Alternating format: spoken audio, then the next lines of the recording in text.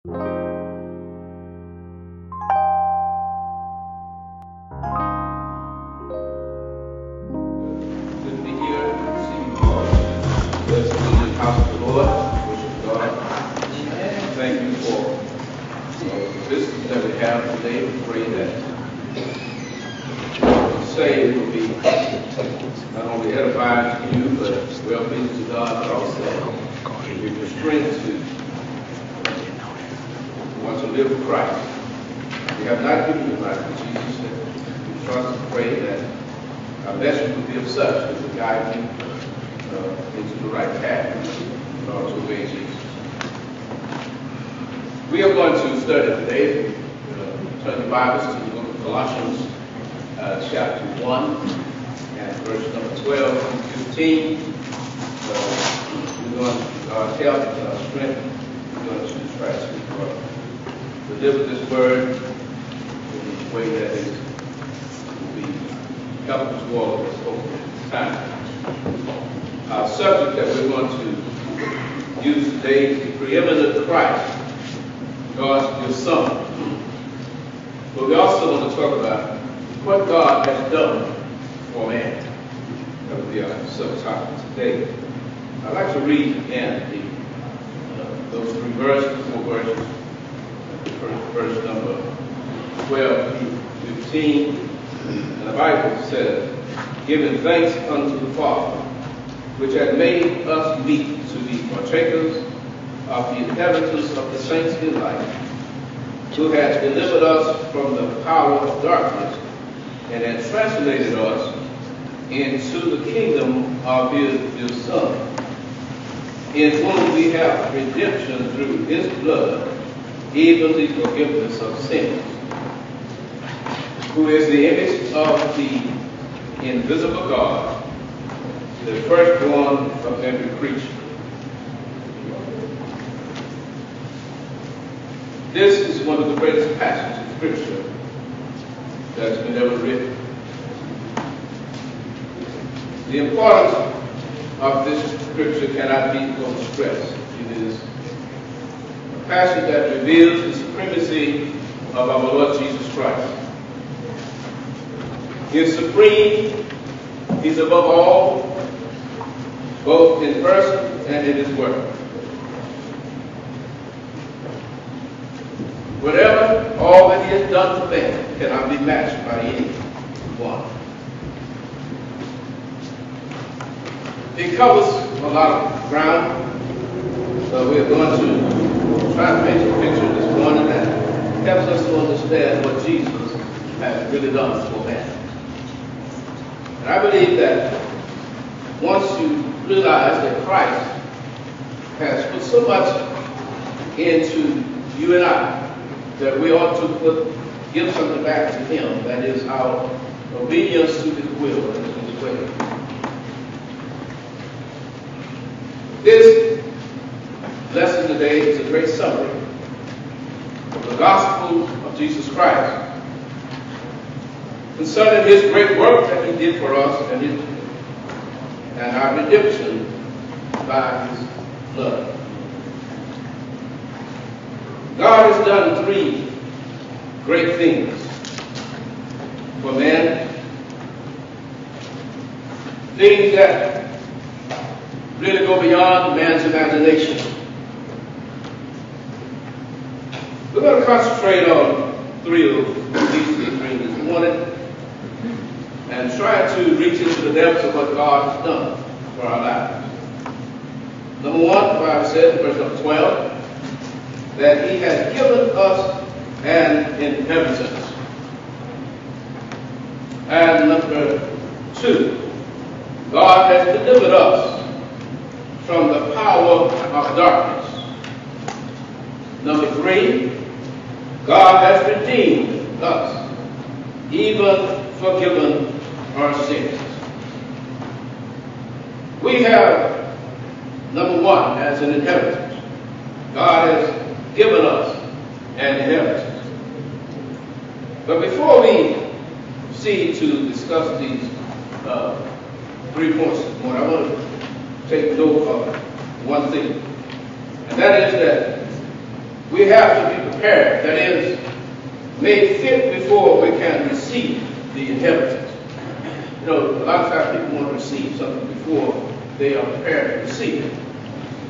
But we find that man is not qualified or fit to receive anything from God, especially an inheritance not in his present sinful and corruptible state. One is living in a, in a sinful and corruptible state. Uh, one is not qualified to receive the inheritance that God has prepared for them.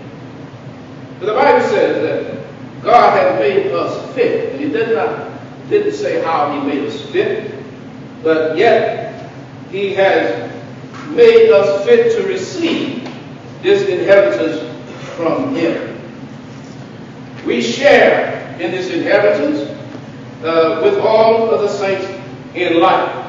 That's what the scripture said.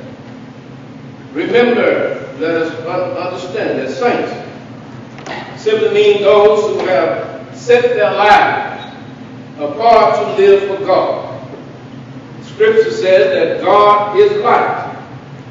When a person turns his life over to God, he is turning his life over to the light. He is to live and move and have his being in the light, and that is in Christ. He is to walk in the light of God himself. So much so that we, who are believers, we are called the light of the world. This is what is meant by saints in light. What is it? They have committed themselves uh, and they have turned their lives over to God to walk in His light. Therefore, that Paul had addressed this church as saints because they have set themselves apart in the light of God. What is the point then? It is that every saint who lives and moves in the light of God is receive the inheritance of God. Let us take another again. It says God is light.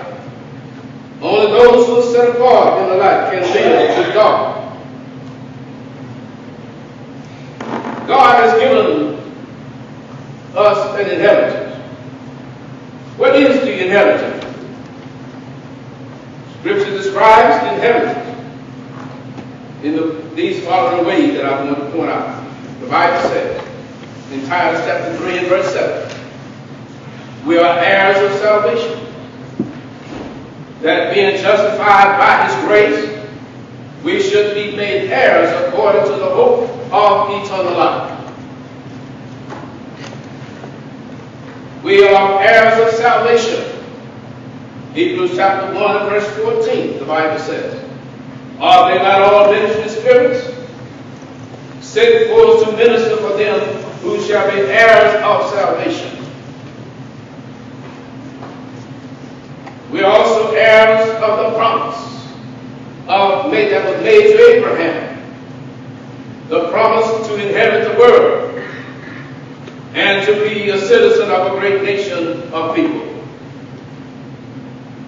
According to Galatians chapter 3 and verse 29, the Bible says, if you be Christ, then are you Abraham's seed, and heirs according to the promise. For the promise that we, he should be heirs of the world, was not to Abraham or to his seed through the law, but through the righteousness of faith. According to Romans chapter 4 and verse 13.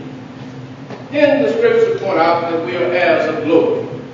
And if children, then heirs of God, and joint heirs with Christ, if so be that we suffer with him, that we may also be glorified together. Romans chapter 8 and verse number 17.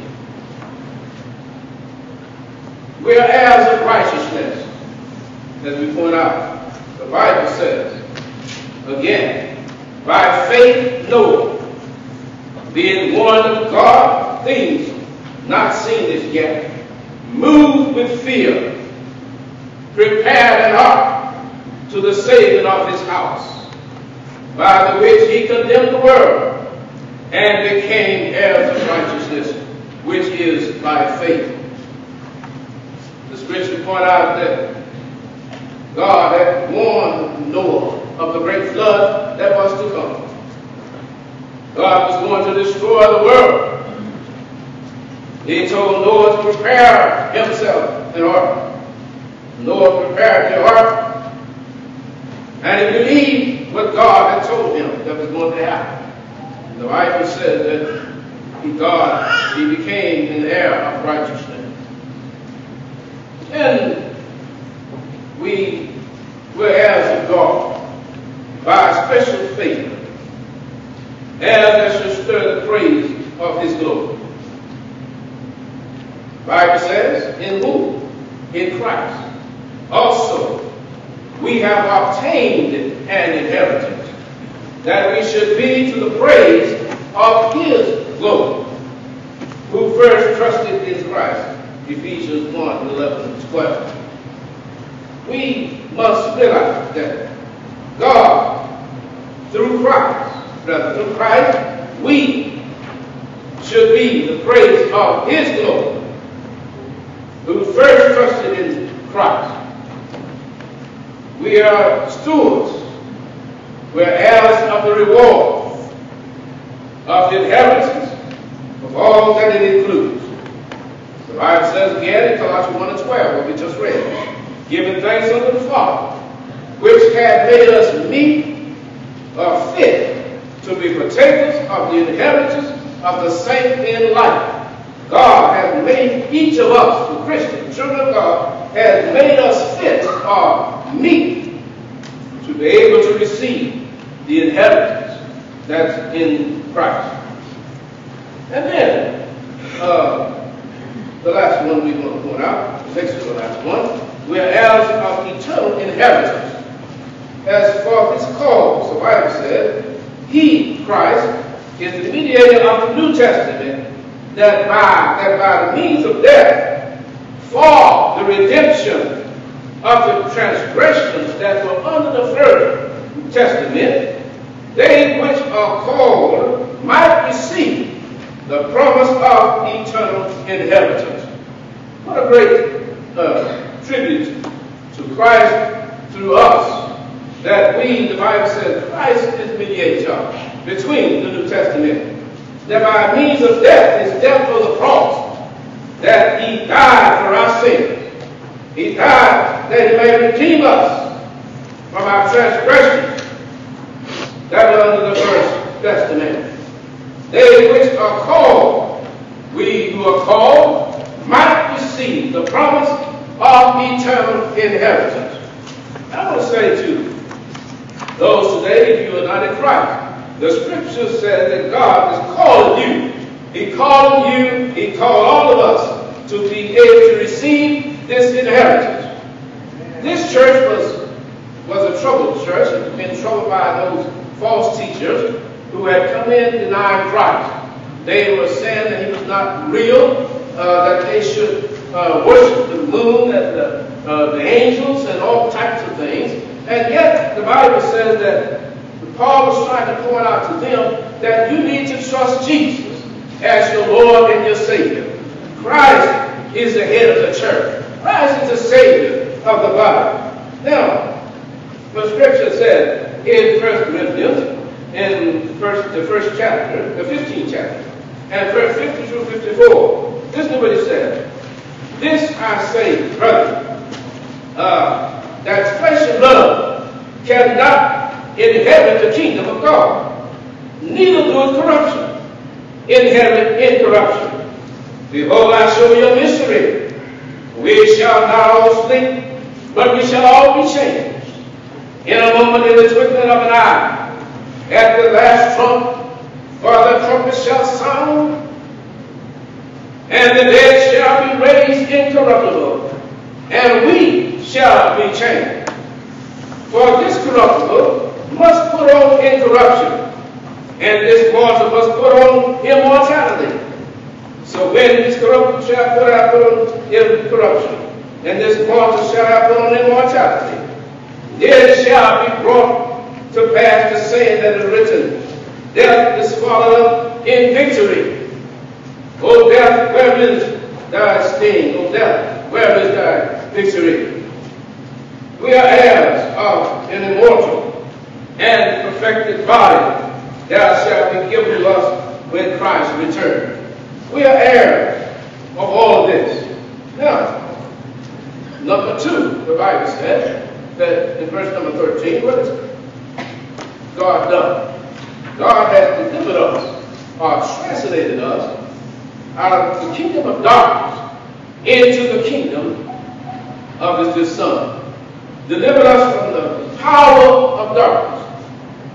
In other words, he has translated us, or transferred us into the kingdom of his dear Son. The word power means he has translated us out of the realm of darkness. There are two things we want to point out as the power of darkness.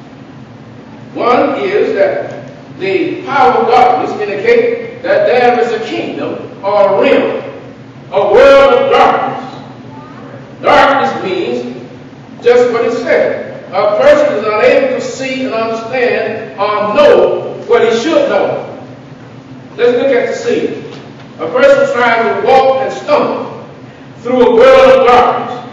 He cannot see or he cannot understand. Now, what Paul saying? When one has uh, lived in the world of darkness, of ignorance of sin, and they have lived without Christ, they should be able to receive Jesus, because the Bible says, and we who are Christians, God has translated us, or transferred us from the power of darkness into the kingdom of his dear Son. Now, if you're still living in darkness, that means you live, you're living out of the, you don't know the power, or you don't have the understanding of the gospel of Jesus Christ. You don't understand who Christ is. You don't understand where he came from. You don't understand where he is or where he is going. This is the situation that the natural man experiences. The man who has not been delivered from the world of darkness by God, he does not know what he needs to know in order to be saved. Who he is. He does not know why God has created him. He does not know what God has planned for him. He does not know where God, where he has come from. He does not know the origin of God. He does not know that God created him. Do I? Because heard just this week some people say that Christ or God is, was not real. Uh, God was not a, a true man. Uh, Christ, God didn't create the heaven and the earth. Didn't create the world. So people still don't believe that God created the world. They don't believe that Jesus was, was the Christ, the Son of God. And so we still have people who are living in darkness when they come to God. They don't know that through Christ we can live eternally. Let's see what the point we want to point out about the realm of darkness in the world in which the sinner lives and who he never knows the things that he needs to know. He does not know the truth of this his world that he lives in. He does not know the true life that what it takes to live for God. He walks in a life in a world in a world of darkness, blinded uh, from the truth. The power of darkness also indicates that the darkness is not only a realm of a world, but a power, an active power that creates slave men and stands in opposition to the light of God. You notice we pointed out at first that Christians walk in the light of God. Yes. They walk in the light of Jesus Christ. Right. We, walk, we walk in the light of His Word, in His Word. Right? But those who are living in darkness are in opposition to this, to this light. Right. So therefore, their world is a darkness. It's a rebellion against God. And so therefore, as they live in this world, they struggle against God. It is difficult to imagine how they can pull out of this without God. They cannot. And then we find that uh, the scripture says that if your eye be evil, the whole body is full of darkness. If therefore the light that is in you be dark, how great is that darkness? Matthew 6 and 23. in him, the Bible says, Christ was light, and the light was the light of men. And the light shined in the darkness, and the darkness comprehended it not. John chapter 1 and verse 4 and 5. The Bible point out that in Christ is that darkness, is that light of And in when men walk in darkness, they have not the light of Christ. And then John said again that this is condemnation. That light is coming to the world. And men love darkness rather than light. Why? Because their deeds were evil. Men who love to walk in darkness, who love to live in darkness, they want to stay that way because of their evil deeds. They don't want to come to the light. And Paul said, talk to the Christian. He said, the night is far spent. The day is at hand. Let us therefore put off the works of darkness and let us put on the armor of light. Paul is talking to us who Christians who are in the church, who have been already brought into the light. He said, let us not walk in darkness. Let us not put on the armor of darkness, but let us put on the armor of light. Because the night is far spent, the day is at hand. Time is, is past gone for Christians who still fall back into darkness. Time is far spent for those who are living in darkness to continue to live in darkness. They need to put on the armor of light that they may come to Christ. The Bible also point out that in 2 Corinthians 14, their minds were blinded, for until this day remaineth the veil untaken away in the reading of the Old Testament which veil is not away in Christ. There are so many people still living in the past. They're still living under the Old Testament law. Even today, they still don't understand Christ. They don't understand the life that is in Jesus Christ. And you need to understand that the Bible says the God of this world, why do men still live in darkness? The God of this world has blinded their minds. In other words, keeping them in ignorance to the gospel of Jesus Christ the, the gospel of Christ is glorious. Therefore, we ought to have our understanding in the light of the gospel of Jesus Christ. Scripture says that God's world has blinded the minds of them that believe not, lest the light of the glorious gospel of Christ, who is the image of God, should shine unto them. Oh, their understanding is darkened every day from the light of God. Who delivered us from the power of darkness? It is God who has delivered us, not man. The word deliver means to rescue. It means to snatch from darkness. When a person is lost in darkness, they are lost because they don't know the way. They don't have the light. And you can walk out into the, the night. You know, unless you really know where you're going, you get lost when it's dark. In the city, it's hard to get lost because you got plenty of light. But if you're in the country and you walk in the night and you look, try to look at the stars, guys, it gets dark out there. And so, therefore, you get lost. But the word simply means that we have been delivered. And do, not you want to be delivered? If you're not in Christ, don't you want to be delivered?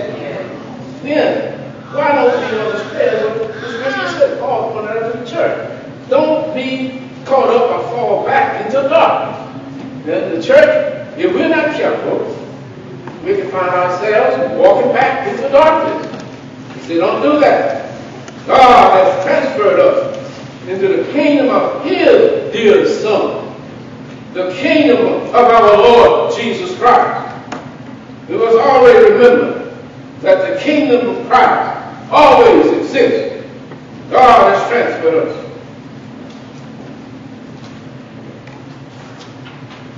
The message of the glorious gospel is that God has transferred us from the power of darkness into the kingdom of his dear son. That is the message. Jesus said, except a man be born again of the water and of the spirit, he cannot see the kingdom of God. That has reference to having faith in God, in God and being willing to obey the gospel of Christ and be buried with him in baptism for all the remission of your sin. I know that some people don't uh, believe in that. There are some institutions that don't believe that baptism saves. But the Bible tells us that in order for one to be saved, to transfer into the kingdom of God, he must have faith first. Believe in Jesus Christ to be the Son of God. John 8 and 24, Jesus said, except believe that I mean, you will die in your sins. Jesus said, My kingdom is not of this world, but my kingdom is in heaven. My kingdom is not of this world. You know, Pilate asked Jesus a question.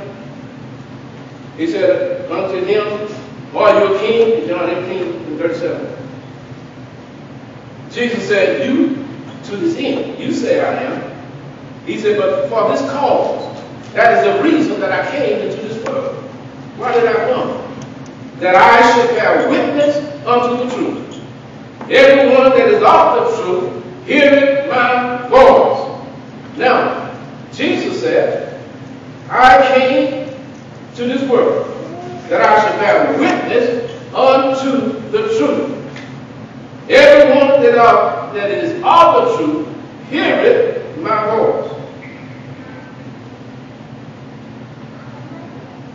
The next point, in verse number 14, the Bible says redemption. God has given us redemption. What has he done?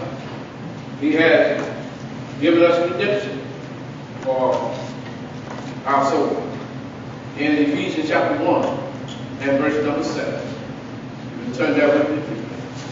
See what the scripture says. The Bible says here, in whom we have redemption through his blood, the forgiveness of sins, according to the riches of his grace. Now that that scripture is, is the exact scripture that you have in Colossians chapter 1 verse number 14. But the only difference is, he said he, used the word grace. And in Ephesians 2, 8 and 9, the Bible says about grace, have we all been saved. Not of ourselves, it is the gift of God. We have been saved by grace if are in Christ. But if you're not in Christ, then you need to receive the grace of God. You need to have His grace working in your life. That is, the Bible says, we have redemption through His blood, the forgiveness of sins, according to the riches of His grace. Now, what does that point out? That point out two things to me. That man cannot save another man. Because man does not have grace. Man did not shed his precious blood for man. Jesus shed his blood. That's why we have been translated into the kingdom of his, his son. As we come to a conclusion this morning, the Bible says Jesus reveals that God saves all who come to him. Through him. Through him who has redeemed us and who has forgiven us our sins. Colossians 1 and 14. Jesus said in Matthew 22 and 9, unto those who, uh, his disciples. He said, I want you to go and bring into the highways, and as many as shall you shall find, be it to the marriage feast. Jesus wants his kingdom to be filled. But he wants us to be a part of that filling. He wants us to be a part of the work in the kingdom. He says, for uh, in Romans 10, 12, and 13, there is no difference between the Jew and Greek. For the same Lord over all is rich unto all that call upon him. For whosoever shall call upon the name of the Lord shall be saved. So therefore, the Lord is calling all that will come to him through Jesus Christ. No matter who you are, or what, where you've been, or where you're going. If you have not already Christ, then the scripture is calling you to come to Christ. No matter what nationality you may be, you need to come to Christ. Jesus, or Paul said again, we preach Christ. Not only do we preach Christ, but we warn every man while we're preaching Christ. We're teaching every man in all wisdom that we may present every man perfect in Christ Jesus. In order for one to stand whole before Christ, uh, to be translated into uh, or transferred into his kingdom, one must hear the gospel of Christ, obey the gospel, and then order that he might be saved. Paul said again, the bride and the spirit say come, brother Jesus said. John said in Revelation 22, 17, let him that is athirst come. And then whosoever will, let him take of the water of life freely. You can come to Christ this morning. Come to him freely. God, the Bible says, was in Christ, reconciling the world unto himself, not imputing their trespasses against them, and had committed unto us the word of reconciliation. What is Paul saying? Paul is saying that the word of the, the gospel of Jesus Christ, when we preach, that word is a word that will call you out of darkness into his marvelous light. That word is the word that we use to help you understand that you need to be saved. Paul said again, now then we are ambassadors for Christ, as though God had did beseech you by us. We pray you in Christ's stead, be ye reconciled to God. For he had made him to be sin for us. Who? Christ Jesus, not man. Right. God didn't put that in, in, into a, a hand of men. He put it in the hand of Christ, who knew no sin, that we might be made the righteousness of God in him. 2 Corinthians chapter 5, verses 19 through 21. What the Bible says, who is Christ? In verse number 15. Who is Christ? Christ is the image of the invisible God. The firstborn of every creature. Christ, Bible says, is above all things. Firstborn. Christ was the first. Does not mean that Christ, brother, was the first created being of the universe. It means he is priority, he is superiority, he is preeminent, he is supreme. It means that Christ is, the existed before the creation as the supreme being of the universe. All creation is his heritage. In the book of John, chapter 1, the Bible says, In the beginning was the Word, the Word was with God. Yes. And the Word was God. Christ created all things, and by him all things consist. He holds all things by the word of his power. Holds all things in his hand. Bible says that Christ is over all. He is the supreme being of the universe. Who is Christ? He is the image of the invisible God. We have not seen God, but Christ, the Bible says, is the image because he created all things. Yes. He gave us life. Christ. Not only that, but he wanted them to understand that he is the head of the church. Yes. He is the Savior of the body. By him, all things were created. All things that are in heaven, all things that are in earth. Visible and invisible. Whether they be thrones or dominions, or, or powers, or principalities. Christ created all things. By him, all things exist. Yes. Are you here this morning? You're going to give you a chance to come to Christ. can give your life to Him. Excuse me while I'm I have a problem this morning. I'm trying to fight through it. But anyway, uh, Christ is calling you to come. Why not give Christ your life? Let Him be the life, be the one in your life. You can all, you can also enjoy that privilege of being transferred out of the kingdom of darkness into the kingdom of His Son. You can also enjoy the privilege of walking in the light of Christ, walking in His light. Well, he, raised, well, because the Bible says He created all things. And by Him, all things exist. You can enjoy the inheritance that is in Christ Jesus. You can enjoy these privileges of being a child of God. Now, how do you do that? You come by faith.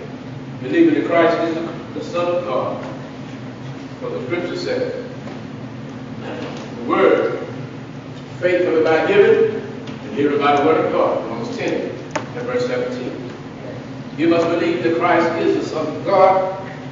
John 8, 24 says, except believe that I be, you will die in your sin.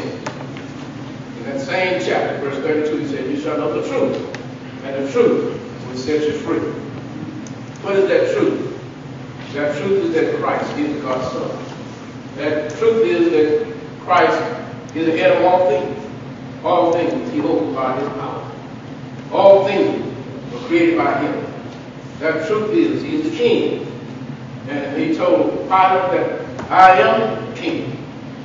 But not only that, but I came to bear witness of the truth. And Christ said, I am, I am the light of the world.